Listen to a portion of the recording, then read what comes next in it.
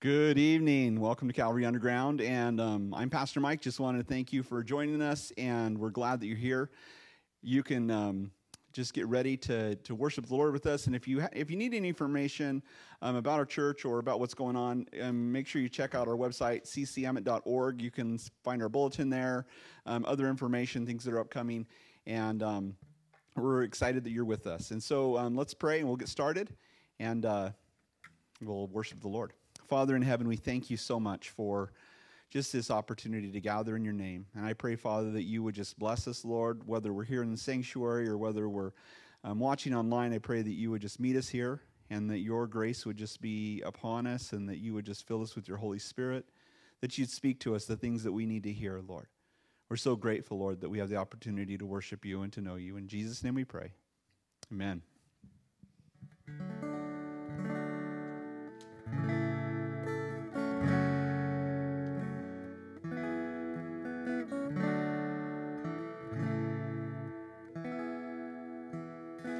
Praise the Lord.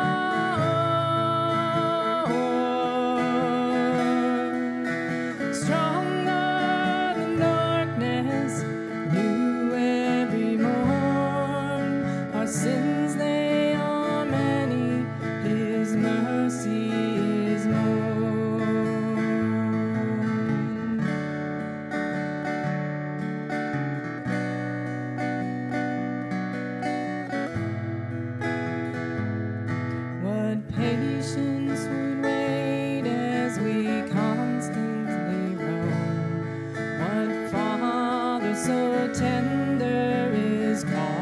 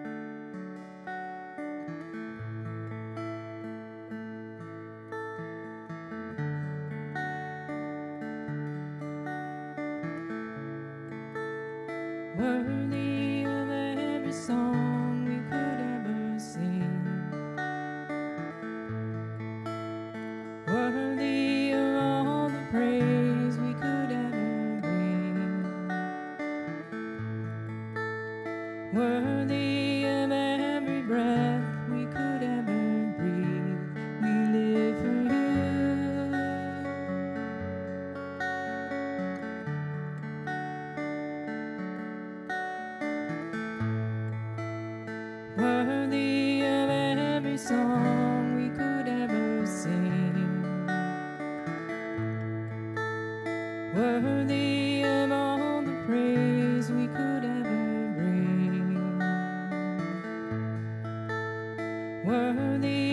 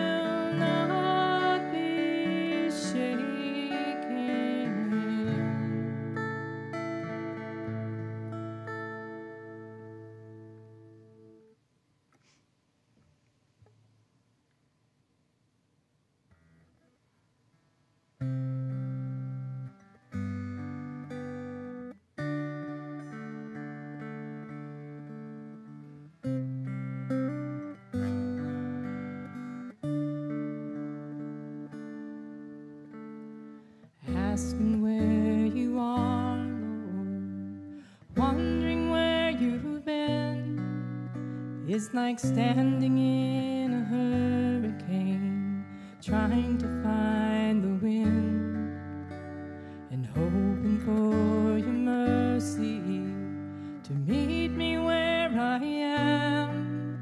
Is forgetting that your thoughts for me outnumber the sand. You fill the sun with more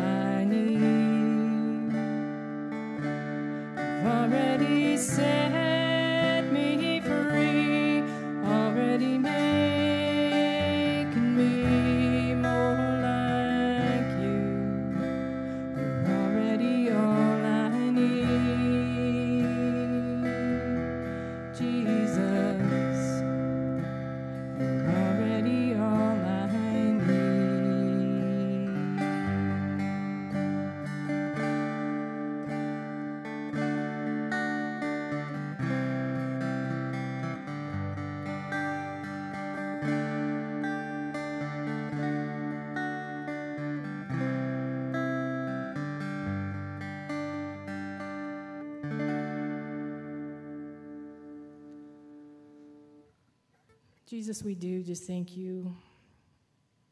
And we thank you that when we know you, you, you can transform us. What a miracle. We just ask that you would help us to not be so distracted with all the shiny objects in the world, Lord. We are so weak minded. We just ask that you would strengthen us, Lord. Help us to focus on you. Help us to focus on your promises and your word and all that you've done for us.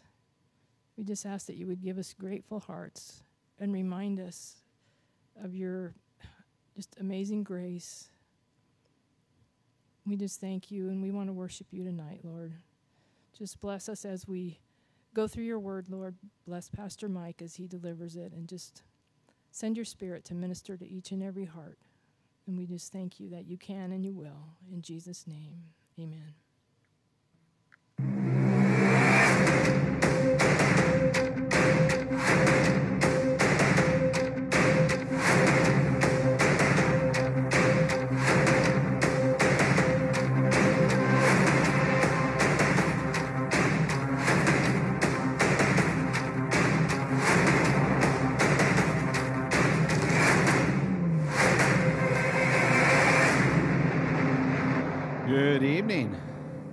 Glad you're here. For those of you who are here, I know most people have kids, and so they're not daring to come, and it's windy outside. So I appreciate um, those of you who are here, and I appreciate all those who are online watching us. We are in Job chapter 1 this evening.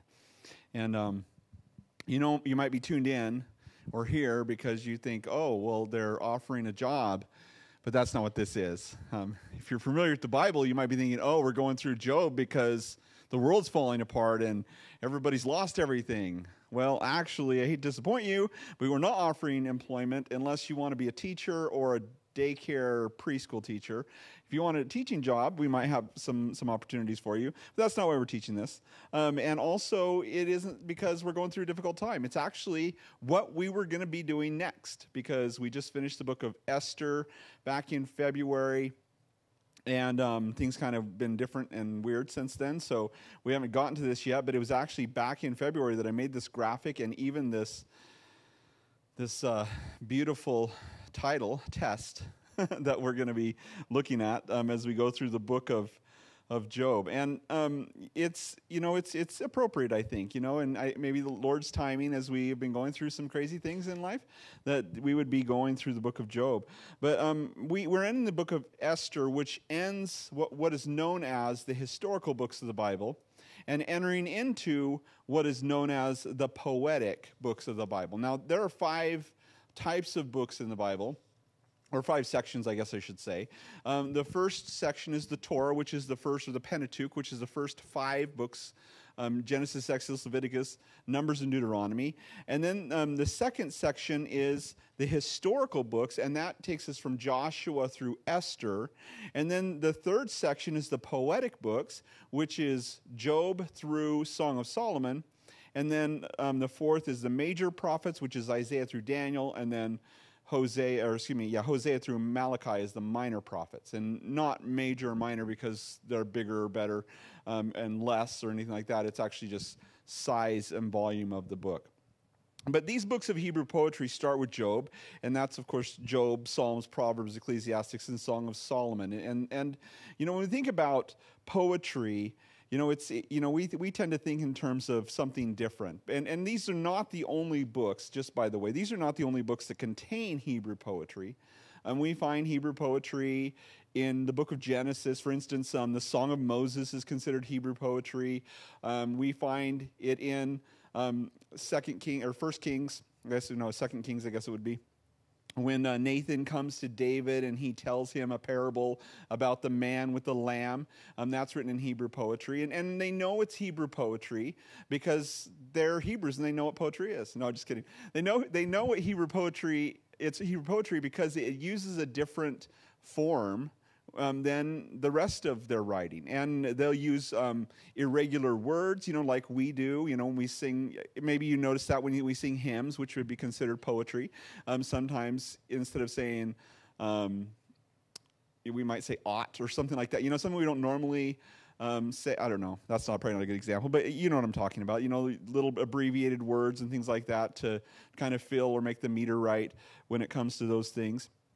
Now, poetry in Hebrew, um, just like in in um, in our language, our culture, doesn't necessarily mean that it's allegory, but it could be, right? Um, and it doesn't necessarily mean that it's metered or with a rhythm or that it rhymes, although that is debatable, and, and there are some scholars who think that it absolutely did. Um, we don't know. But often speaking of man's relationship with God, and uh, oftentimes when we see Hebrew poetry, not always, but most of the time, it deals with man's condition and, and, and his relationship to God. Now, Hebrew poetry also can um, include some parallelism when it comes to um, themes and things like that. Of course, that's pretty normal. But our, our poetry is very much the same in a lot of ways. You know, maybe there's some things that in our culture would be cons- would be considered poetry in Hebrew that are not considered necessarily poetry in English. Things like maybe Bunyan's Pilgrim's Progress. You know, something like that would oftentimes um, be included in poetry, although that is an allegory. Um, but we tend to have poetry that we appreciate in our culture that has you know meter rhyme you know all those types of things. For instance one of the my favorite poets, poems which i quoted i think a few weeks ago is the love of god which which basically goes something like this. Could we with ink the oceans fill or were the skies of parchment made were every reed on earth a quill and every man a scribe by trade to write the love of God above would drain the oceans dry, nor could the scroll contain the whole, no stre- those stretched from sky to sky. So we, we hear that type of poetry, and usually when I, when I give that poem, people come up to me and say, "Oh, what was that poem, and where can I find it?" You know, and because it's just it powerful, it gives us chills. We think about it, you know. Oh man, the ocean's being drained dry just to write God's love, you know, stuff like that. What's interesting, and this is something that I know about poetry, is that it does not translate. And so when we think about what we're reading in the book of Job, it isn't as beautiful or in, in whatever way or whatever form, whether they read it um, with a metered, you know, type of sing song or something like that, the way that they would recite it, which they did, um, it, it doesn't come out the same way in English. Now, I know this. And when I was in Romania, I was thinking about this because I was thinking as I'm going through Ephesians with the Romanian pastors, I thought, man, that poem would be perfect in this point, at this point in the in the thing. And so what I did, I, I knew better than just to try to throw that poem at them, you know. Could we with ink the oceans fill? How do you even translate that as you're a translator? Like, what does that even mean? You know, that's the weirdest way, you know, I've ever heard anybody speak. So and what I did was I wrote out that poem and I gave it to Chipri. Chipri was my translator. I said, Chipri, can you translate this in some sort of poetic form into Romanian? And he's looking at it, he's like, I think so. And so he took it and he spent till like two in the morning, because I was going to be doing it the next morning. He spent like till two in the morning and he nailed it. I mean, it was amazing. I mean, I don't know, because I didn't, I, I couldn't tell what he was saying. I'm sure he was saying what I was saying just in Romanian. But I, I just gave the poem. And, and, and this is what's crazy about it. I gave the poem, and then he, you know, he's just waiting for me like normal. And then he just nails them with this poem that they'd never heard before. Nobody in Romanian had ever heard this poem before, and they were shocked. They were like, How did he come up with such a beautiful poem out of whatever he said? You know, and the, the people who could speak English and Romanian were completely stunned. Um, but it, it does. It takes a lot of it takes a lot of effort, a lot of preparation, and in order to take something that's beautiful in one language and make it beautiful in another language, you have to be some sort of a genius, and Chipri obviously is. You know, he learned speak, to speak English, and um, he, he's their best translator. He, he learned it from watching cartoons. He told me he learned he learned English and Italian from watching cartoons. So that's a tip for you if you're learning a new language.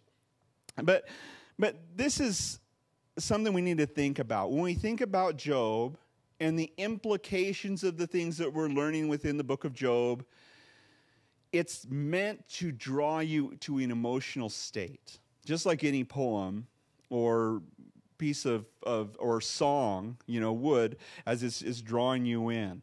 Victor Hugo said the book of Job is perhaps the greatest masterpiece of the human mind.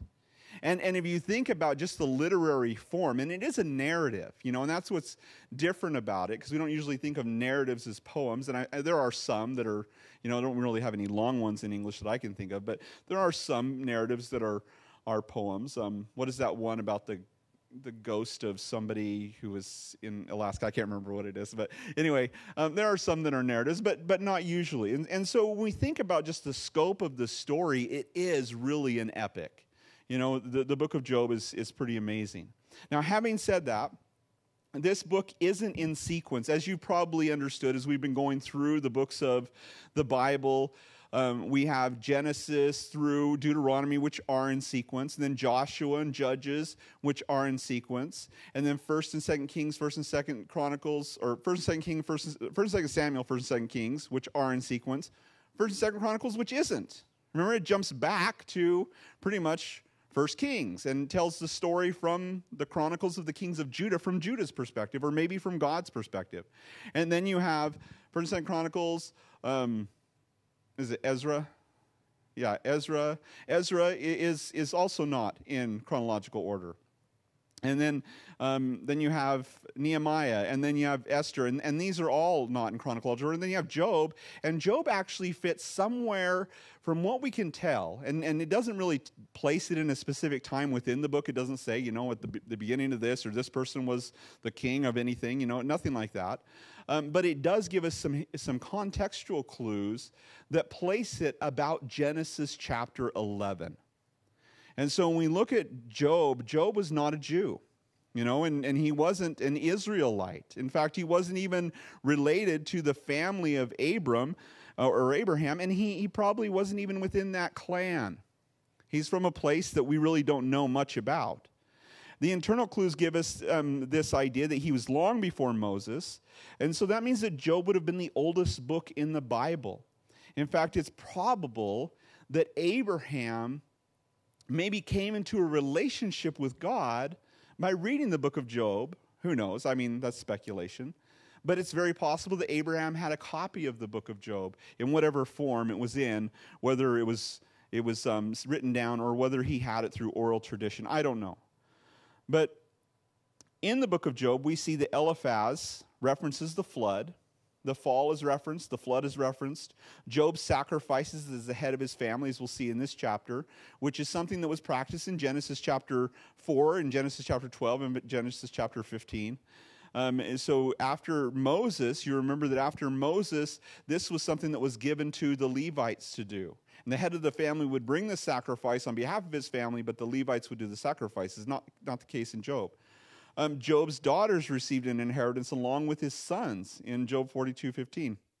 Um, a patriarchal practice, but not something that passed on with the law of Moses. That would go to the eldest son.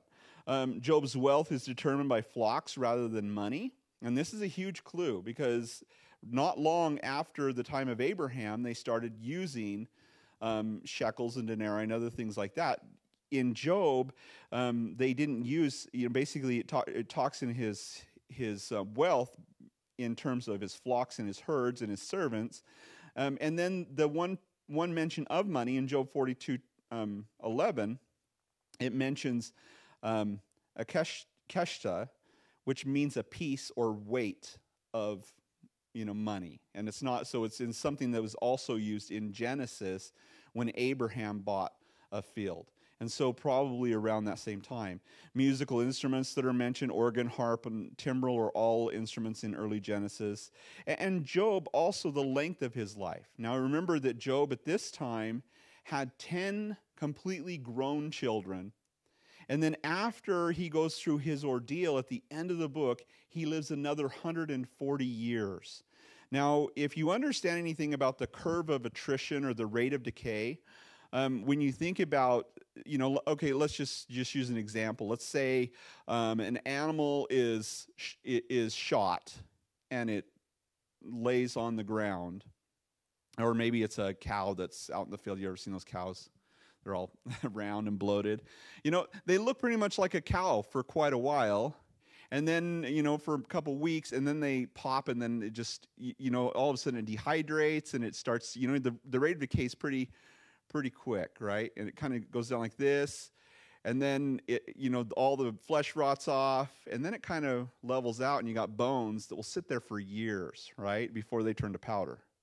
See, it's the same thing with just about anything. Let's say that you're somebody in marketing and you know the law of diminishing returns. You put out a big ad campaign and your ads doing really well, you have a lot of sales, and then the sales start to fall off as your ad stops, and then somebody clipped it and few people you know keep buying it you know long term so same rate of decay same thing as you look at those curves of attrition you see the same thing when you look at Genesis. People live 900 years, 800 years, it starts to fall off, and then it kind of levels out at 100, you know, 80 years, you know, 70 years. You know, it's kind of just kind of same thing. And so if you if you follow the rate of attrition and an age of 200 to 225, which is what Job would have lived to, that puts him right around the age of Abraham. You remember Abraham lived um, over 200 years. His uh, Terah lived 225, I think. Abraham lived about 200 years, and then his son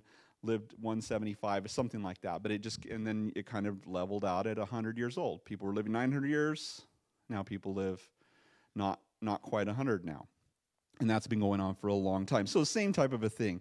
And so, if you date it by that, you find it's going to be right around that same period.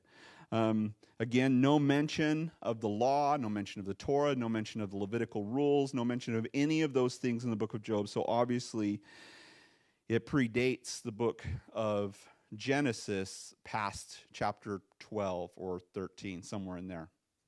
Now, um, Job's impressive, though, as an individual, because he doesn't have the light of the Old Testament, nor does he have the light of the New Testament and yet he has a pretty amazing relationship with God. You know, apart from all that, we don't know what type of light they did have, and maybe they knew a lot more of, about things that we don't know about back then, um, had a greater understanding of, of certain things that we don't understand.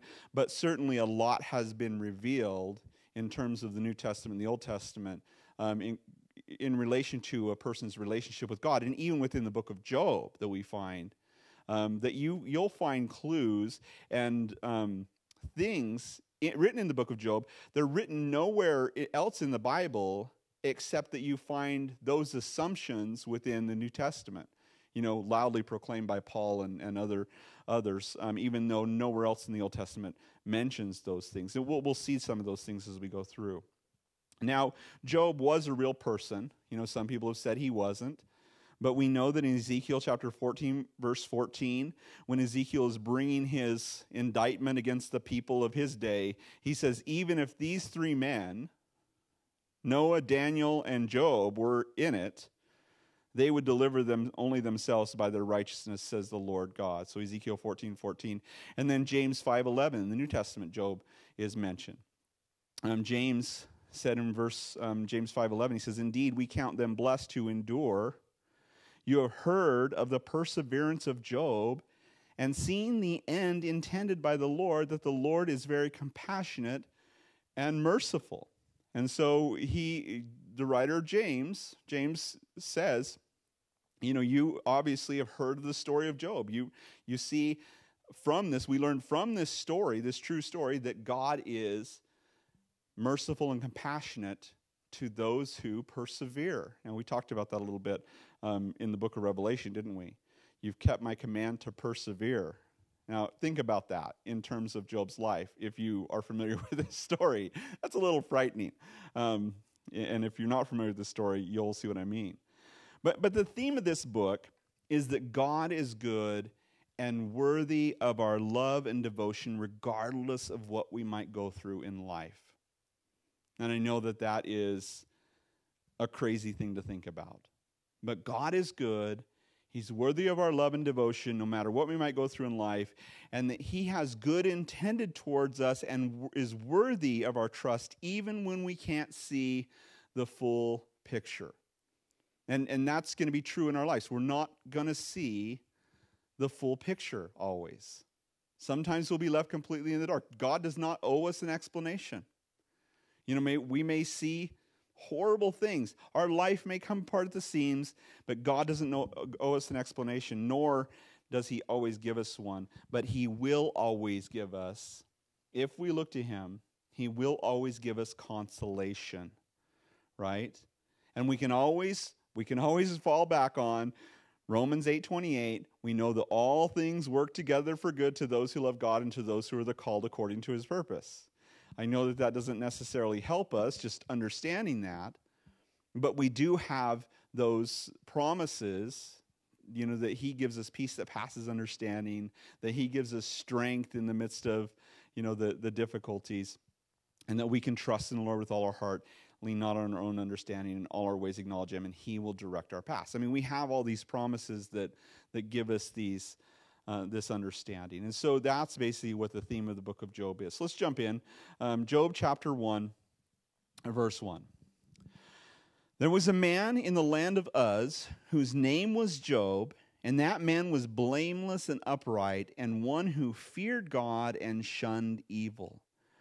Now, this is thought Uz is is a place that we really don't know. You might see you might see Uz in your Bible um, atlas in the back, your little maps in the back, and it will always say Uz question mark because we really don't know where Uz is. However, we do kind of understand that Uz must be somewhere close to the Sabaeans, which would have been kind of south, north of Egypt, but kind of south in the area of Jordan. Um, that, you know, kind of where uh, Petra, you know, the Sabaeans and the Edomites settled that whole area. And so they were nomadic tribes at this time before they'd settled into cities. And, and so that's, it would be between there and Mesopotamia, where the Chaldeans were from. So we kind of, you know, triangulate and figure that they're probably right, you know, probably right next to where current day Israel is, somewhere in that region um, of the world. Not 100% sure, but that's kind of where um, we believe Uz must have been. And he was blameless. This, this doesn't mean without sin, but Job was a man who lived with integrity. Um, it means he was he was honest in his dealings, um, and upright means he was honest in his dealings and and um, didn't cheat other men. And, and then he feared God. He had tremendous respect for God, and he had a relationship with God. Now it's it's weird to us because we don't think of people in that era as having a relationship with God. I think, you know, we read the Bible and it's like Adam and Eve blew it and nobody really even knew God until Noah, right? And then Noah and then then then you know Babylon and all that mess, you know, and then you have finally Abraham and like nobody else in the world knew God. No, it's not true.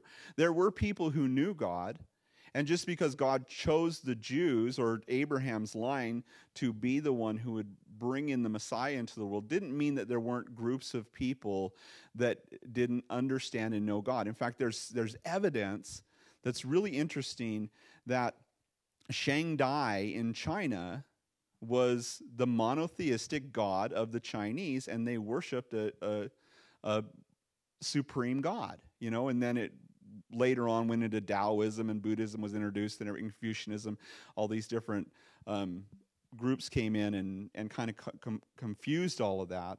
But the emperor of China, um, Shang, Shang um, dynasty, sacrificed to this supreme, the king would sacrifice an oxen on an altar to this supreme god.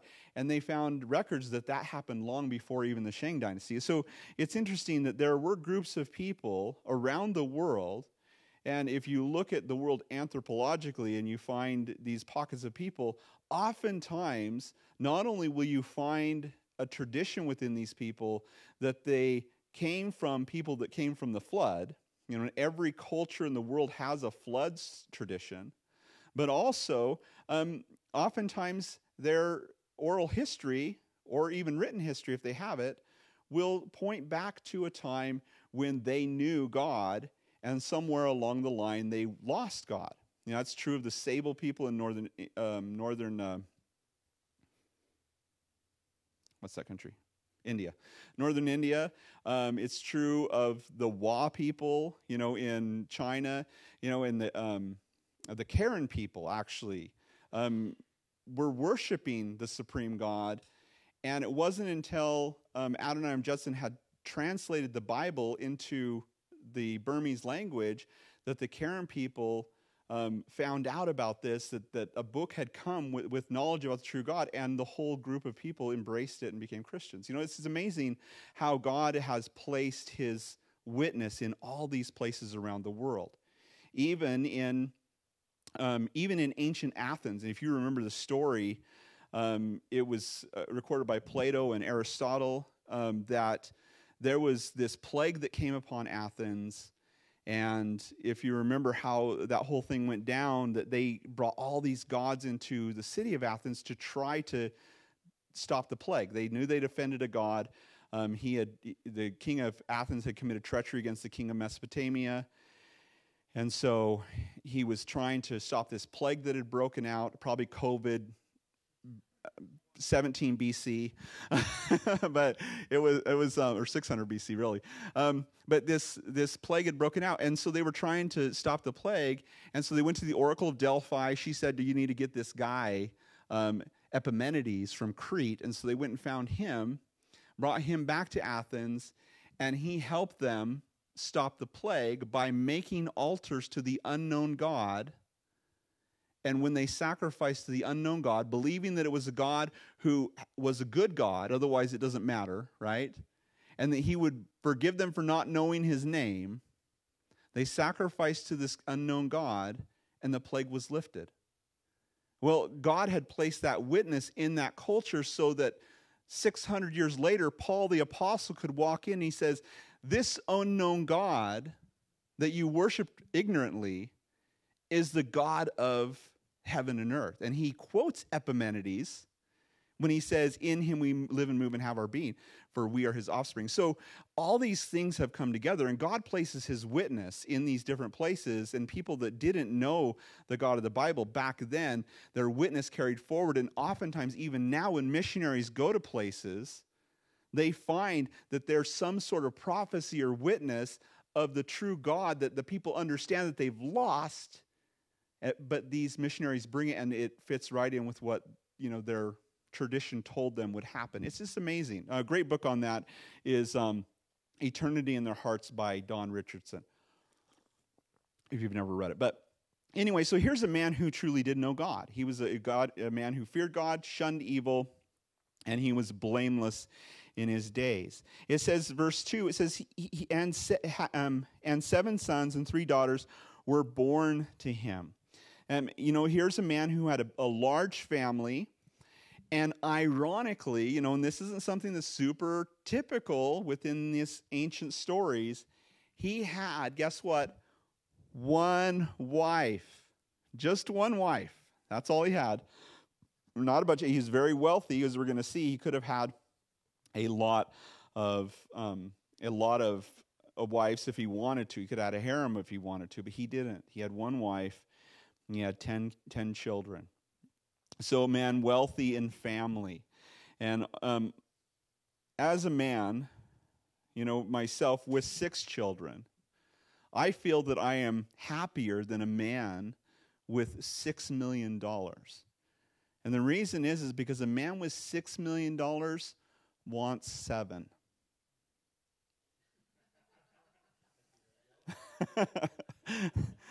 it's funny because Shannon's, she's like, honey, I need to go see my OBGYN. I was like, why? And she says, I think I might be pregnant. And I was like, what? I'm 40. How old am I? 48, 40, 46? I don't even know how old I am, honestly. And she, she's like, yeah, and and she's she wasn't, you know, but that was that was recently, and I was just like, you know, she's like, maybe I'm going through that change. I was like, I hope so. you know, it's oh, man, what what would a guy do? But um, So seven sons, seven, of course, the number of completion, and in, this is, you know, in a way, it's poetic. You know, seven sons. He has seven sons. He's complete. Um, in his sons, he has three daughters, which brings the number to ten, which is also a number of, you know, in the Old Testament, there's these numbers. You know, people kind of make significant. Sometimes they probably aren't. Sometimes they probably aren't. But um, oftentimes considered the the number of authority or law. Of course, the, the ten can't ten. Um, Ten canons, the Ten Commandments, and, and then also a number of completion. You know, 10 can also be considered a number completion. And he loved his kids. This guy loved his kids. So he's wealthy, wealthy in family. And in verse 3, it says, also his possessions were 7,000 sheep, you know, for wool and textiles, things like that. You know, he had all these sheep and also for food. Um, 3,000 camels um, these were like, you know, the SUV of the Middle East, you know, and still are to this day. You know, these, these dudes can go a long way through the desert without needing a drink of water. And so these were your, your this is, you know, fleet of trucks, basically, 3,000 um, three F350s, uh, 500 yoke of oxen. So this is, this is a thousand oxen because 500 yoke is a thousand. So you have, each yoke has two oxen um, to plow and to cultivate the ground. 500 female donkeys. This is like your Audi. You know, a female donkey was um, a smooth ride. You know, you, a horse is kind of, you know, dangerous and they're kind of rough to ride on, but a, a donkey just kind of trots along, just real nice. And when it, it gallops, it's just more of a jiggle than it is like a cluck, cluck, cluck, cluck. You know, it's not, it's a pretty, and you know, in the, in the ancient world, they, a donkey was considered the premier animal to ride. Uh, a very large household, and this is not speaking necessarily of his children, but this is speaking of his male and female servants. So, a very large household probably had up to a thousand servants or more, you know, in his household. So that this man was the greatest of all the people of the East. And so nobody in his region in the East were wealthier were greater. He was kind of a sultan, you know, if you will. And so he was wealthy materially. Again, not with gold and silver. It doesn't mention that amongst his wealth, which is also that one of those clues. But wealth was measured in commodities and in, in souls, in, in family, which is what they would consider their servants.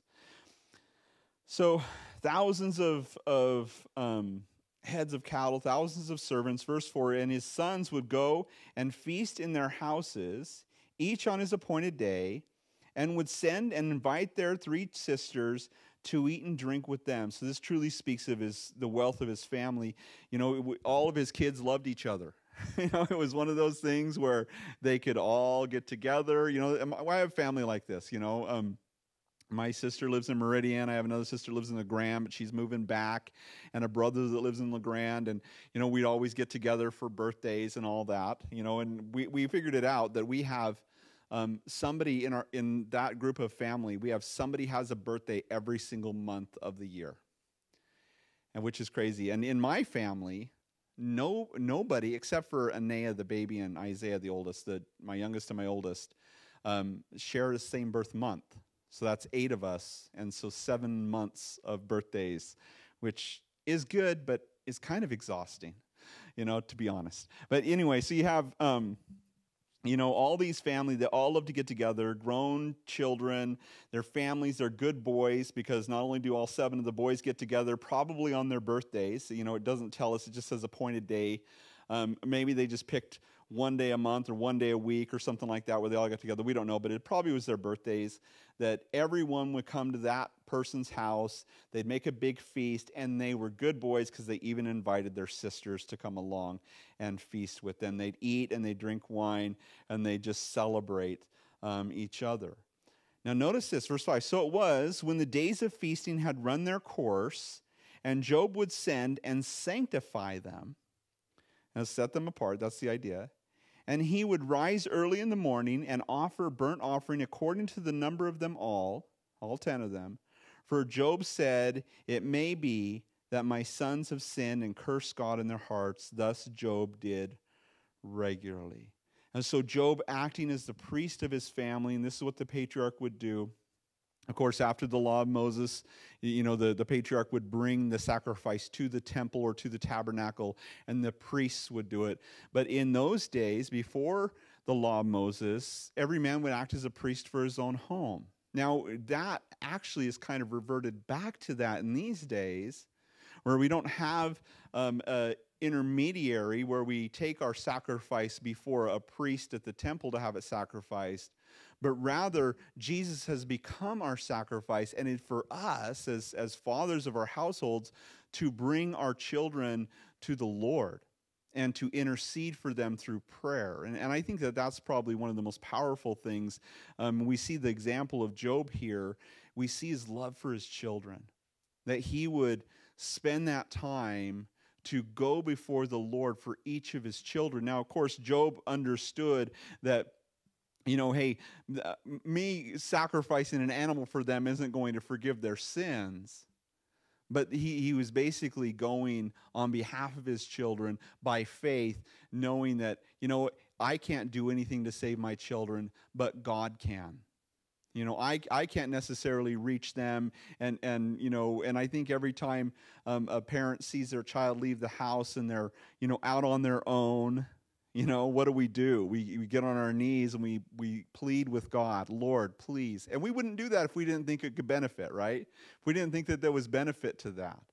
You know, and we, we hold on to those scriptures, you know, that talk about, you know, uh, train up a child in the way they should go. When they're older, they will not depart from it, and those types of things, because we have a deep concern and a love for our families. And, and, and certainly that was true with Job. I mean, you think about the energy that this would have taken to, to pull out all these sacrifices for each of his children every time they got together and had a party. You know, because sometimes during a party, you know, they're drinking a little bit. There could be levity there. There could be, you know, um, foolishness. And so he would just intercede before the Lord for each of his children. It says, verse 6, this is where it gets weird. Now there was a day when the sons of God came to present themselves before the Lord, and Satan also came among them. It's a little chilling. So you, you imagine the scene, the heavenly scene, God sitting on his throne. You have um, the angels, and that's what we're talking about when we talk about the sons of God, the angels gathering around the sons of God, gathering around the throne of God.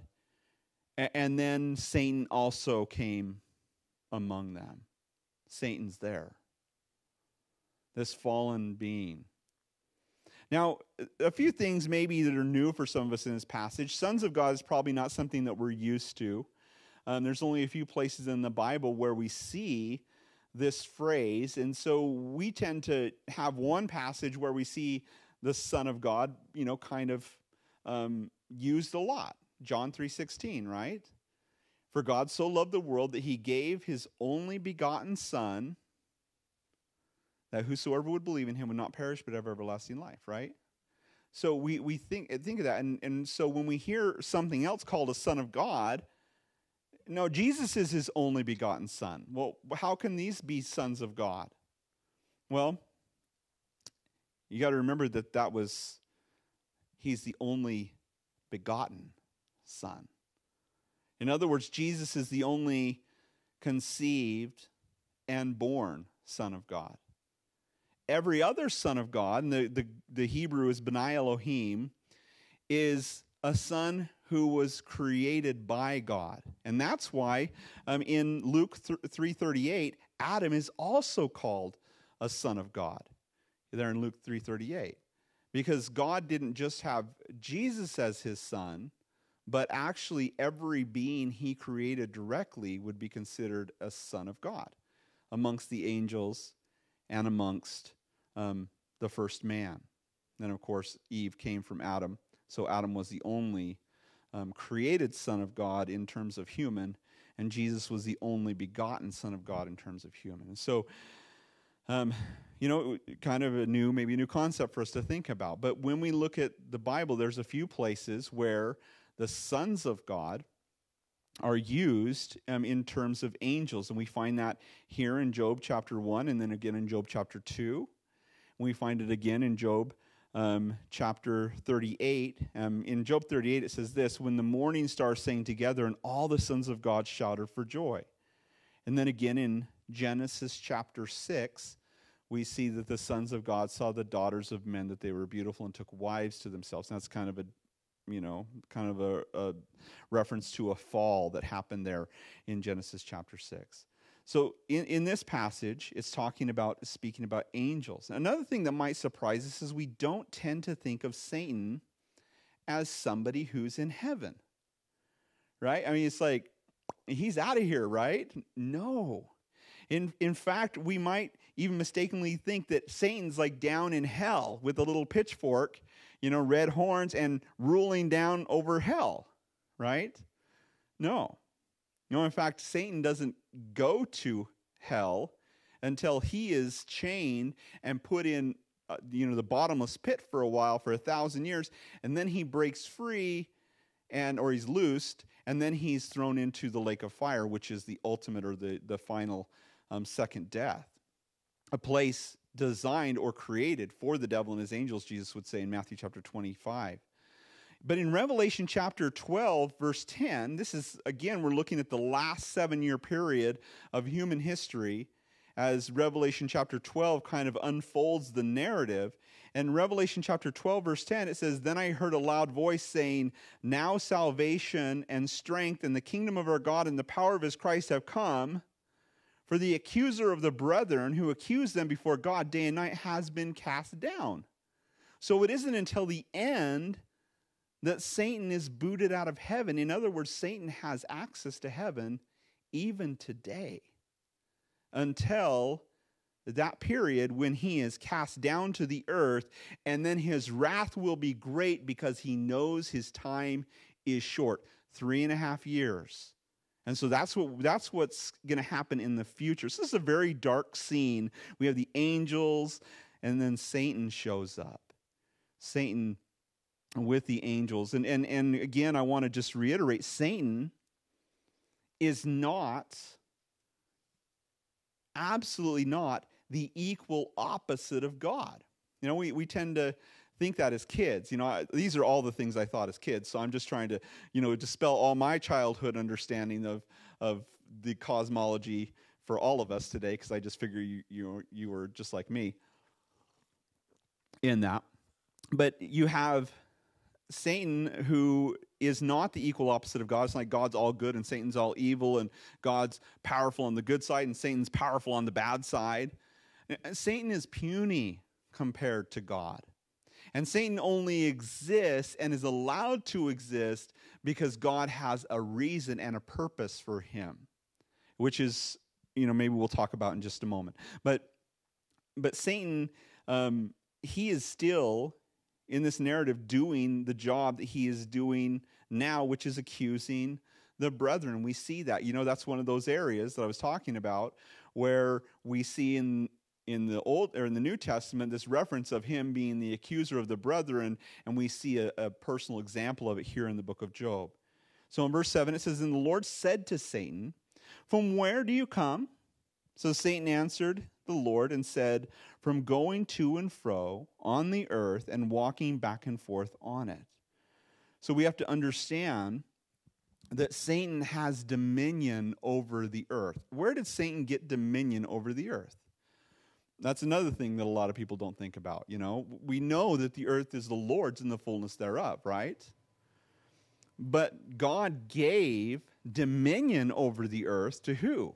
You remember Genesis chapter 1? Have dominion over the fish of the sea, the birds of the air, everything that creeps on the ground. It's all yours. Subdue it and be fruitful and multiply. He gave it to Adam. And so Adam is in charge. He's the king of the world, right? Not you, Adam. he starts shaking. Yeah, yeah, yeah. Remember, Adam made a big mistake. His wife submitted to the enemy, the devil, and then he submitted to his wife and ate of the fruit. And what that did, um, I guess, transactionally, if that's even a word, what, what the transaction that took place there is that the man and the woman became slaves to sin when they knew all of a sudden knew good and evil, but they also became slaves to the devil. They became subordinates to the devil who took that authority from them. And so this, the scripture he, it tells us this. Remember what Peter says in 1 Peter chapter 5 verse 8. He says, "Be sober, be vigilant, because your adversary the devil walks about like a roaring lion seeking whom he may devour." So this is what Satan is doing. He's trying to destroy humans. He hates humans. Isaiah chapter 14 tells us that he wants to be like the Most High. Well, what did the Most High do? He created a man. How did he create the man? In his image and in his likeness. So now Satan, who is this beautiful angel, Ezekiel 28 tells us that he's that, that, that he was beautiful and perfect in every way, that he had pipes and timbrels built into his body, set in his body. And, and that he was perfect in every way until iniquity was found in him. And, and so he his desire is I want to be like God, and then he sees God make a man who is, in a way, like him. And his jealousy was burned. And it seems, because it talks about him being in the Garden of Eden, that he was perfect, walking back and forth amongst the fiery stones, that he was perfect in all of his ways until iniquity was found in him. It seems it was at that scene, there in Genesis chapter 3, when he comes as a serpent and deceives a woman, that that was the moment of his fall. Because he was in the garden, perfect, before the man and the woman probably were placed in the garden. And when he saw them, he was jealous. And that, that led forth to this whole scene unfolding and mankind falling into his trap. 2 Corinthians chapter 4 verse 3 and 4 says, "But even if our gospel is veiled, it is veiled to those who are perishing." Or good news. If our if our good news is hidden, it's hidden but to those who are perishing. Why?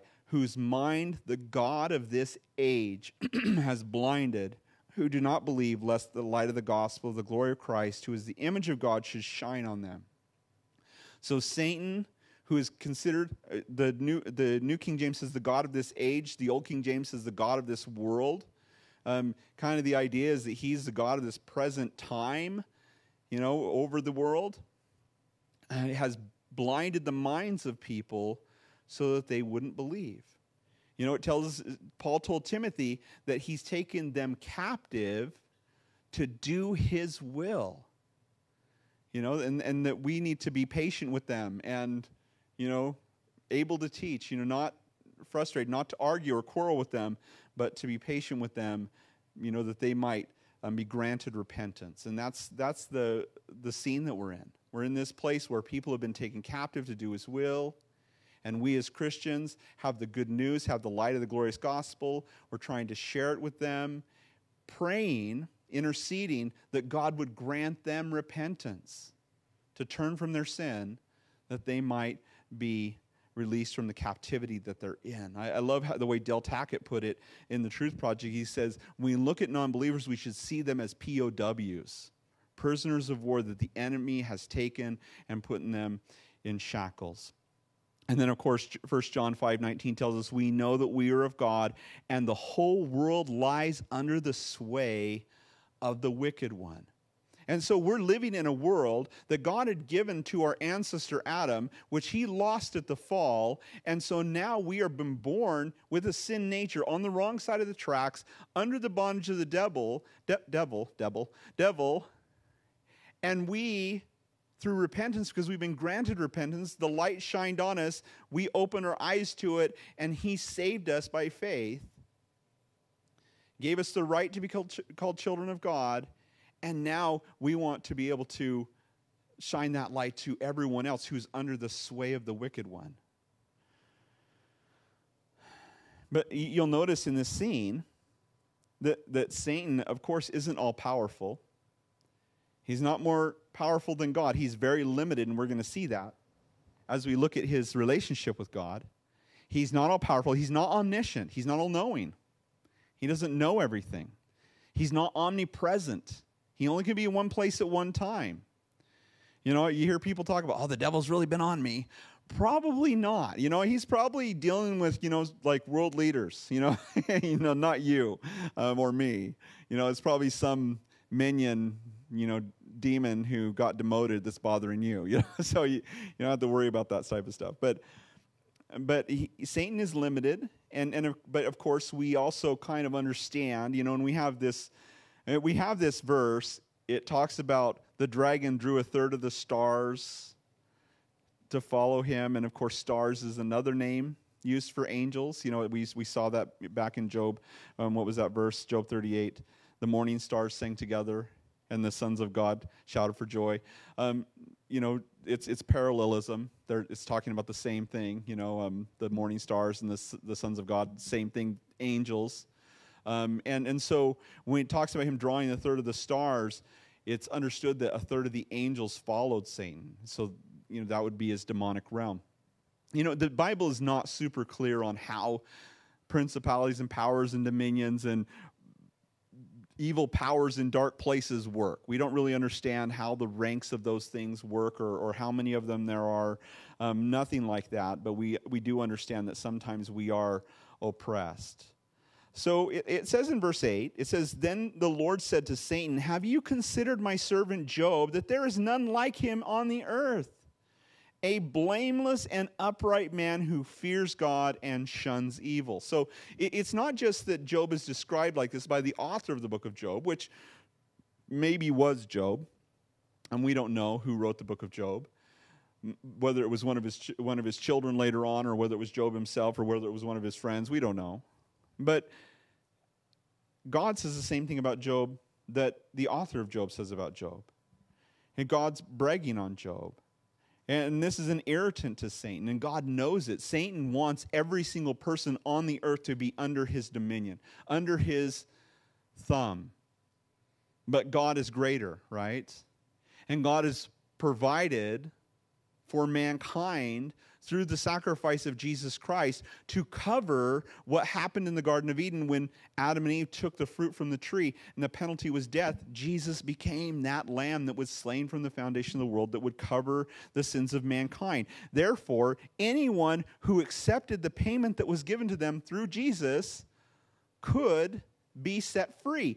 Just like in the laws of the Jewish people, if your closest relative came and bought back your um, debt, you know, paid off your debt from slavery and bought back your land, then you could go free. And Jesus did that. Jesus bought back the earth by shedding his blood on the cross. He died on a tree to make up for what was taken from the tree, which, pen- which penalty was death, right?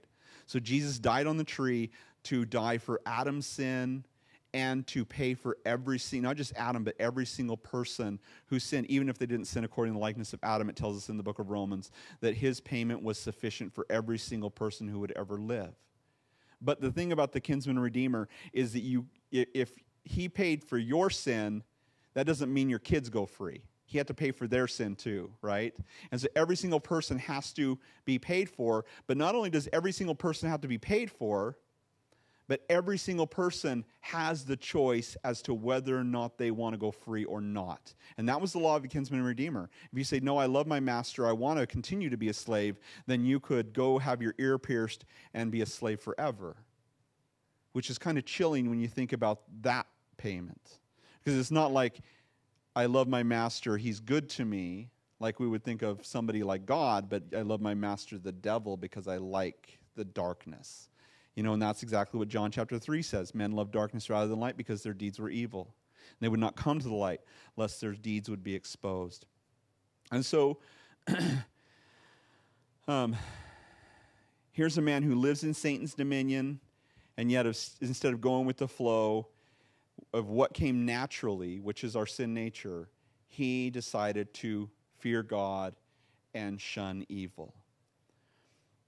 And as long as there are people who will rebel against their sinful nature and look unto God, who will, who will surrender themselves to Jesus, he will deliver them um, from the wrath to come. And, and that, that irritates the devil. He does not like it when people come, when people get saved. He hates that. So Satan answered the Lord and said, Does Job fear God for nothing? Isn't that interesting? God blames, excuse me, excuse me, Satan blames God for making Job love him. For doing what he needed to do so that Job really wouldn't have a choice but to love him. I mean, goodness, God's so good to me. Why wouldn't I? I don't know about you, but I didn't accept Christ because I thought that my life would be easier when I accepted Christ. I didn't. I, I, just, that's something that never actually crossed my mind. In fact, I thought in a way I was ruining all of my fun by accepting Christ.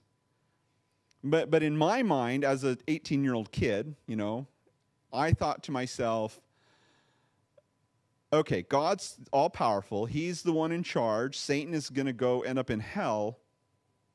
And so I probably better join the winning side.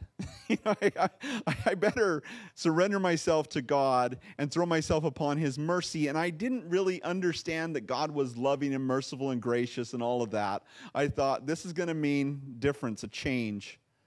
But you know, also when I came to God, I didn't think that I could actually you know, make the changes I needed to make to be able to please God. And so I just kind of threw myself on His mercy and say, God, you're just going to have to do this because I can't. You're going to have to make me obedient to yourself. You're going to have to change this because there's, I just, I, I don't need some weak religion that's going to put a bunch of rules on me that I can't keep. And so I just kind of surrendered completely. And I think that there, there's a difference. You know, some people don't. I mean, there are entire theologies built on the fact that if you come to God and you just do what He says to do, He's going to make you well, healthy and wealthy and wise. You know? And that's disgusting, honestly. You know, because God doesn't owe us anything.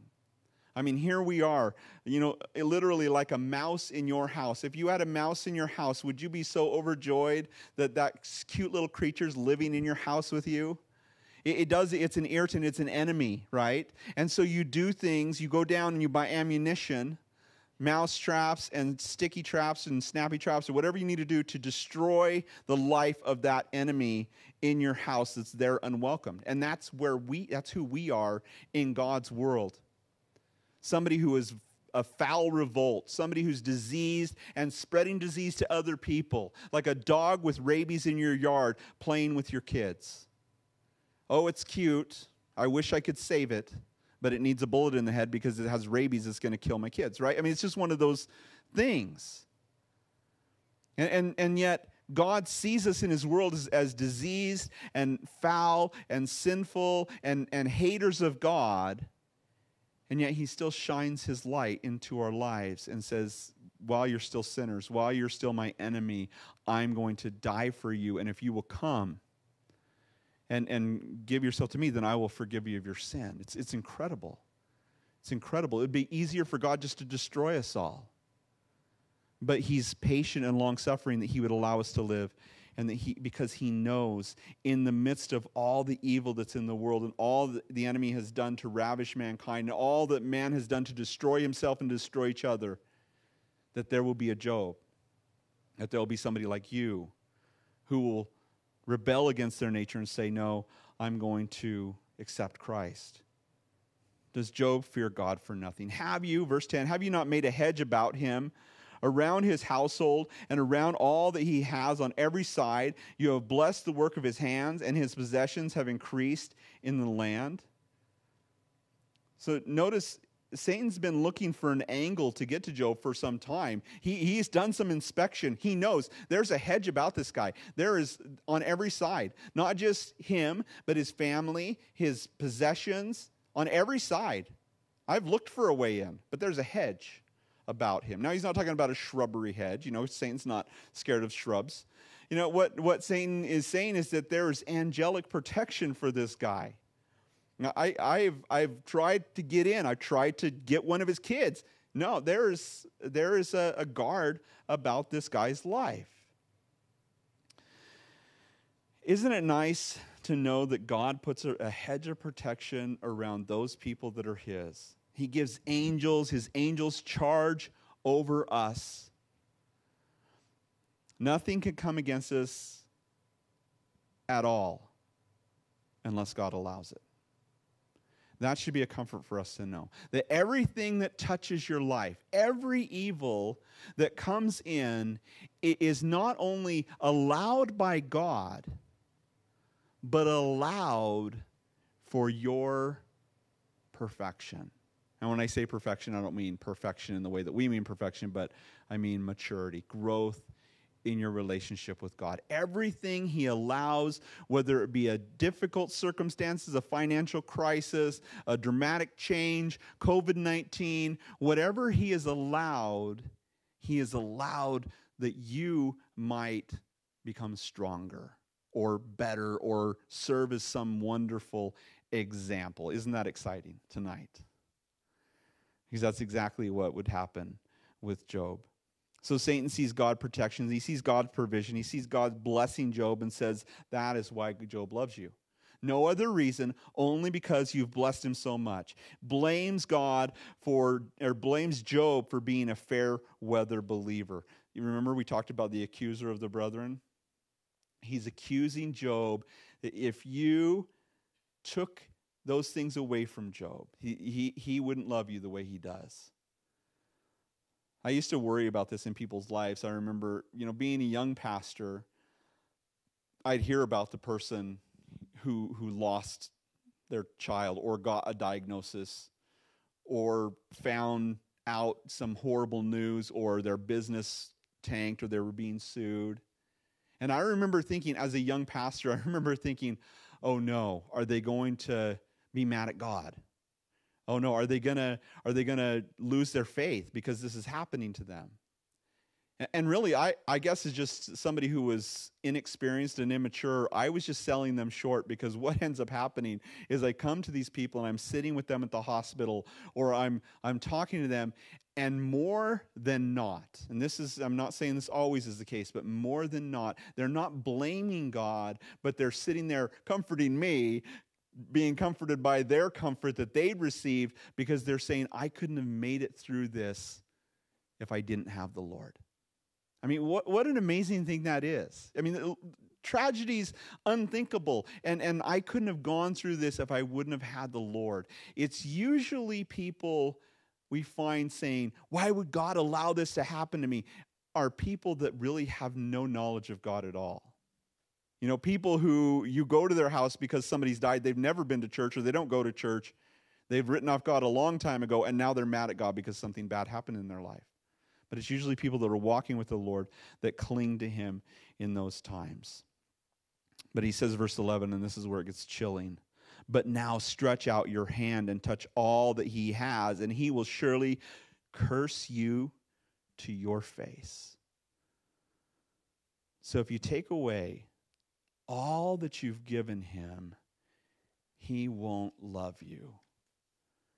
He, he is only there. He's only faithful to you because you've blessed him so much. And this is where it gets very, very, very chilling. And the Lord said to Satan, Behold, all that he has is in your power. Only do not lay a hand on his person. So Satan went out from the presence of the Lord. Now, th- why did God say, Don't lay a hand on his person? Because later on, he's going to. He's going to give him permission to. Why did God? Because Satan didn't blame him of that. He didn't say, Well, only because he's healthy. He, he left that out. So God only gave Satan what he asked for everything, all that you've given him, all the blessings you've given him. And I'm sure this wasn't easy for God because God knows how merciless the devil is. And he is never going to be your friend. He hates you with a cruel, wicked hatred that is darker than you could possibly ever imagine. And yet, it, what was important was that the devil could see what a powerful, important relationship that God had with Job, and that nothing could sever that. I love what Paul says whether life nor death, nor angels, nor principalities, or powers, nor dominions, or nakedness, or whatever, eh, all those things. He says, nothing can separate us from the love of God is in Christ Jesus. I talked about that on Sunday. I think that it's, it's so true. You know, you see these people who've lost everything in their life, and yet when they have God still, they have everything that's worth living for.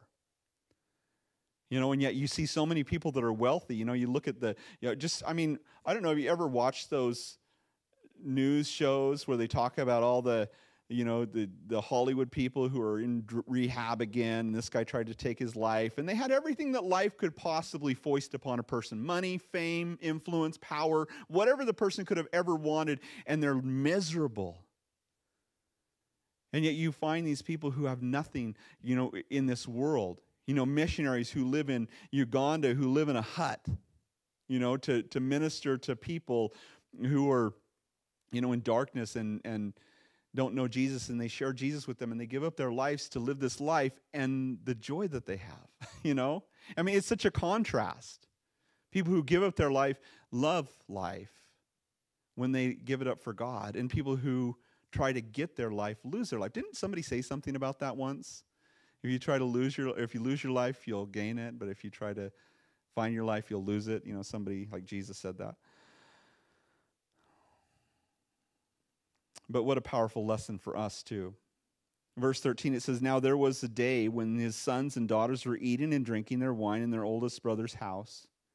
And a messenger came and to Job and said, The oxen were plowing, the donkeys feeding beside them when the Sabaeans raided them and took them away, indeed, they have killed the servants with the edge of the sword, and I alone escaped to tell you.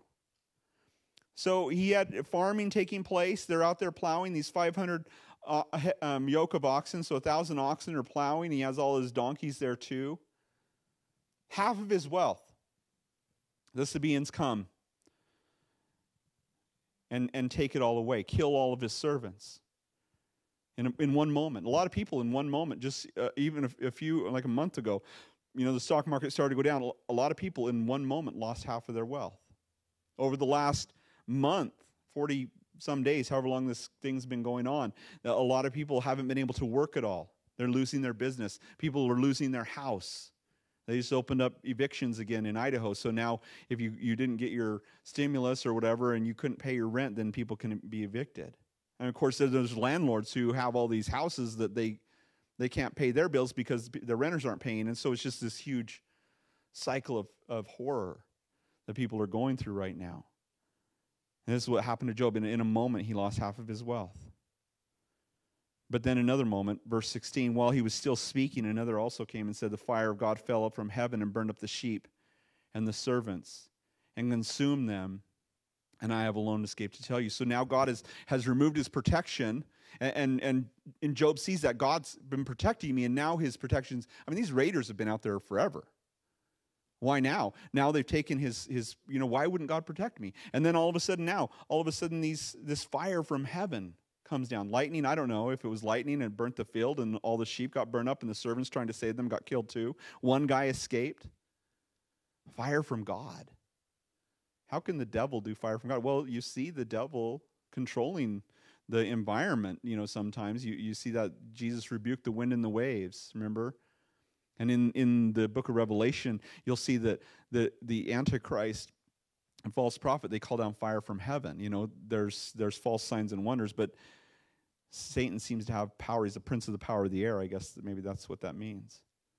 But he loses half his wealth. Now he loses another quarter of his wealth. Verse 17. While he was speaking, another also came. Said the Chaldeans have formed three bands, raided the camels, and took them away. Yes, and killed the servants with the edge of the sword, and I alone have escaped to tell you. So there goes the rest of his material wealth. He has three servants that are left, and probably not in good shape. Verse 18 While he was still speaking, another came and also said, Your sons and your daughters were eating and drinking wine in their oldest brother's house. And suddenly a great wind came from across the wilderness and struck the four corners of the house, and it fell on the young people, and they were dead, and I alone have escaped to tell you. So, in a moment, Job would have gladly lived with just losing all of his wealth. He would have given everything he had for what he just lost in that moment to save his children. I can't even imagine. I've, I've sat with people who have lost children. I can't even understand that pain. To think of losing a child, but more so to think of losing 10 children, all of your children in one blow, has to be unthinkable the pain and the sorrow and the anguish because you know you lose your wealth and you know you you work to build it the first time and you know you kind of have this idea well I can you know build it again or I can get back on my feet. But when you lose a child it's priceless. There's nothing that can replace that. Entirely different thing to lose something that cannot be replaced. And and and if that wasn't bad enough his children are dead but he didn't lose his wife. And she's going to later on tell him, curse God and die. Now, think about this. I don't know, if all my children died, to watch my wife suffer that loss would just add to the pain immensely. You know, to think of losing my wife is horrible, but to watch her suffer in a way almost seems worse. And then for her to turn on me in her anguish and understanding she's in so much pain, it's just part of Satan's plan to make this as hard as possible on Job. And, and it won't even be that, it will also be his friends who are also godly men who will come alongside him and say, There must be sin in your life, and that's why you're suffering. To, to try to make sense out of something they do not understand, and, and we don't understand. When, pe- when bad things are happening, the worst thing that we can do is to start to speculate, even if we think it's sanctified speculation. You know, to, to say, oh, well, is there sin in your life you haven't confessed? And you know, you, you know that's why you're, you got this cancer, something like that. How wicked do we find ourselves end up being the pawn of the devil to put pressure on people who are suffering unimaginably in the midst of that, you know, it's just it's just the work of the enemy. And yet, sadly, this, this stuff happens all the time. People get sick and they get cancer or something like that, and those people come out of the woodwork to tell people that they just have unconfessed sin in their life and they just need to repent. And if they just repented, then they'd be healed.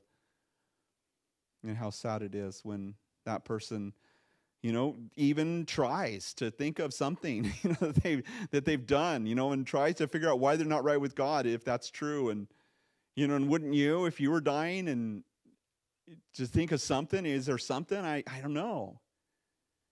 Then to find them, you know, they die and, and the whole family's devastated.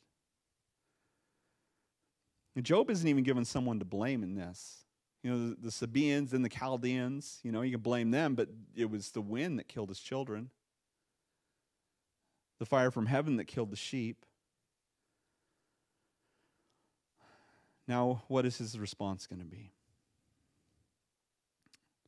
This is amazing. Verse 20. And Job arose, tore his robe, and shaved his head, and he fell to the ground and worshiped. Think of what Job could have done. Job could have gone and gotten a weapon and taken his own life, which would have been an easy escape in the midst of his pain. He didn't plan a revenge, he didn't become John Rambo. He didn't shake his fist at God. He didn't blame God or accuse God. Why did you do this to me? Or why did you allow this? Haven't I been good? He tore his robe, he shaved his head, he fell on the ground, and he worshiped.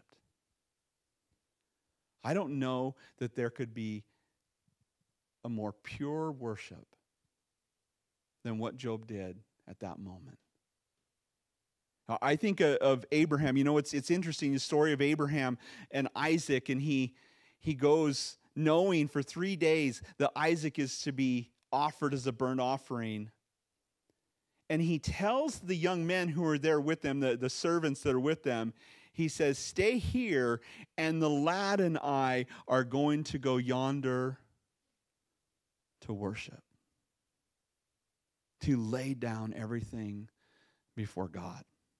I mean, you think about a man who thinks that God is requiring him to sacrifice his own son. He says, I'm going to worship. I don't think we think of that when we think about worship. I think we think about being in the in the congregation with our hands up and the song's our favorite song and oh, I love this part. I love this part. I can't wait. You know, and we sing it and we're just like, "Oh." But worship becomes real when everything in our life has been trashed and everything is going downhill and we don't know what the future is going to hold. At the risk of being cliche, but we know who holds the future. And we get on our knees and we say, God, you are in control. I don't understand this, but you do. And I worship you in spite of all the pain that's in my heart and all that's going on in my head. And he said, This is what Job said Naked I came from my mother's womb, and naked I, sh- I shall return there. The Lord gave, and the Lord has taken away. Blessed be the name of the Lord. Blessed be the name of the Lord. He's taken everything away from me, everything that, that I've, I've I held dear. And I'm watching my wife. No doubt Job loved his wife. He's watching her suffer or, or thinking, maybe she's not there and he hasn't seen her yet, but he's thinking, what is she going to respond? How is she going to respond to this? In verse 22, in all this, Job did not sin nor charge God with wrong. That's supernatural. But that's love. That's somebody who has sat in the presence of God. This man who was wealthy with family, wealthy with goods, but none of that wealth was there for him in the midst of his deepest trial. But the wealth that he did have that was there for him through that deepest trial, his wealth in his relationship with God. And that is the one wealth that we can never lose the one wealth. And if we have that wealth, we, we will have all the wealth we ever need. And it is with that wealth, that spiritual relationship with God, where we know God and God knows us, and we're following Him and worshiping Him and acknowledging Him in all of our ways, that we find that we can have all the things that would destroy us if we tried to worship them, such as children and houses and wives or husband or you know all the things that don't satisfy in and of themselves until we have known God and worshiped him first. And when we know him and we're in relationship with him, we find that we have everything. Not just him, but all the things that he gives us. Abraham, you know, I love how Tozer puts that in his in his book, The Pursuit of God, the blessedness of possessing nothing. He says, "Was not this this this poor man who, who, who possessed nothing, rich, did he not have everything after he sacrificed or went to sacrifice his son and, and he, he ended up having his son back because god says don't lay your hand on the boy and he still had camels and herds and, and all that wealth and yet he possessed nothing but god god was his possession and so it was with job and so it should be with us that god becomes the thing that we live for the thing the one that we love supremely. And we find that, you know, when we do find ourselves in that place of loving God supremely, we find that He is the one thing and the only thing in this life that truly satisfies the soul. That one relationship is the one thing that truly makes us feel fulfilled. In His presence is fullness of joy, right? And pleasures at His right hand forevermore. Let's pray. Father in heaven, we thank you for this amazing story of Job. A man who, who loved you, who feared you, who shunned evil in his life, and, and walked uprightly before other people. I pray, Lord Jesus, that we would see you the way that he did. We have so much more light than Job had. I mean, as far as we can tell, we have your word, Old Testament, New Testament, we have the book of Job. We can read about his experiences. Certainly, those things are written for our learning. Lord, I just pray that you would help us, Lord, to have that same relationship through your Son, Jesus. That we would walk with you, that we would know you. And Lord, that you would just use us, Lord, for your glory in this life and that we would see you, Lord, in every circumstance, walking with us, leading us, Lord, and that we, like Job, would never charge you with wrong, Lord, knowing that you work all things together for good to those who love you. So help us love you, Lord. Help us to walk with you. It's in Jesus' name we pray. Amen. You stand.